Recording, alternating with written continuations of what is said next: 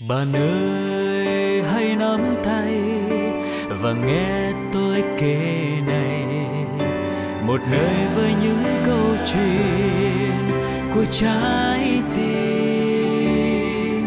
Đặt vào đó thân yêu ước mơ, thật nhiều ước muốn hy vọng. Tình yêu đẹp tươi sẽ cho ta niềm tin.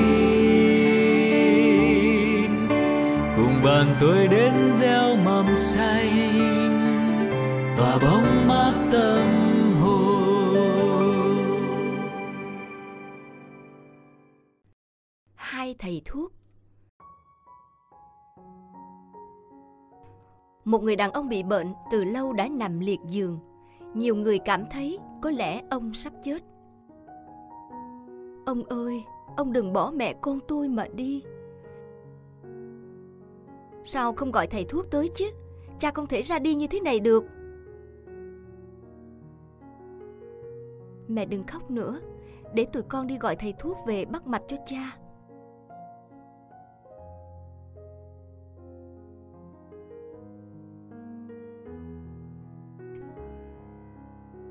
Lát sau, người con trai đưa một thầy thuốc tới. Người con gái trở về, theo sau cũng có một người thầy thuốc. Cả hai thầy thuốc thăm khám, xem xét hồi lâu.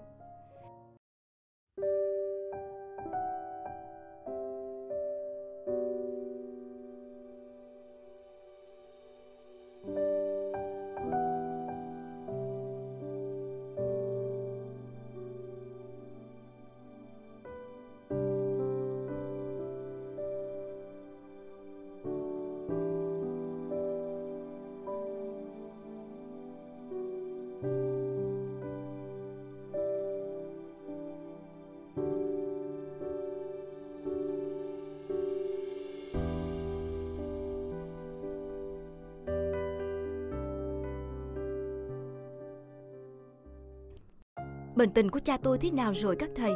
Liệu có còn hy vọng nữa không ạ? Không còn nhiều thời gian nữa đâu. Có thể chuẩn bị tang lễ được rồi. Chưa có vấn đề gì. Ông nói thế mà được à? Thầy thuốc mà chẳng có trách nhiệm gì. Đã không thể cứu vãn được nữa, Sao có gieo hy vọng cho họ làm gì? Chính ông mới là người vô trách nhiệm. Tôi nói là cứu được. Trời ạ, à, sống chết thế nào, tôi là người biết rõ nhất mà. Xin hai thầy để cho tôi trăn trối ít lời với vợ con. Cha, cha tỉnh lại rồi ư? Ông ta tỉnh lại như thế này thì không cách nào cứu vãn được rồi. Đó là dấu hiệu tốt, mau đi lấy nhân sâm lại đây. Ông nhìn đồng tử bệnh nhân đi, ông ta ra đi rồi còn đâu. Ông ta chết là vì không nghe lời tôi. Nếu chịu nghe lời tôi, Chắc ông ta đã qua khỏi. Tục ngữ có câu, Lắm thầy rầy ma.